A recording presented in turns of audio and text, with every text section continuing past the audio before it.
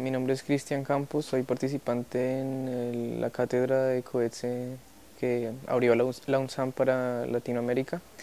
Creo que la escritura de Coetze es una experiencia de encuentro porque, pues entre los países de Latinoamérica porque mm, se desarrolla dentro de un contexto que es muy familiar, digamos, a, este, a esta zona geográfica. Y creo que hay muchos puntos de encuentro entre las experiencias de su literatura y en, la manera en cómo trabaja el contexto y, mm, los problemas que, desarrolla en su literatura, que son eh, de una manera muy reconocibles en, el contexto latinoamericano. Es fácil eh, sentir una empatía hacia, hacia ese tipo de problemas a partir de la literatura de Coetzee y en el contexto latinoamericano.